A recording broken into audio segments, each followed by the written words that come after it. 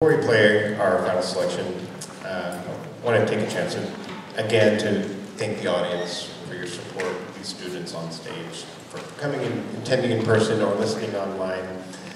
You know, your, your support of these students means a lot. They, they work very hard. They're very, very, very busy academically, and so I, I, I am in awe of the talent and intelligence and drive these students on stage. So just you know, thank you for supporting.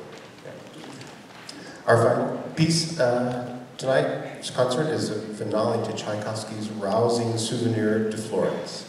This captivating music is inspired by the beauty of Florence and showcases all of Tchaikovsky's technical and compositionary mastery in just a few short minutes. So here's Italian music by a Russian composer, Souvenir de Florence.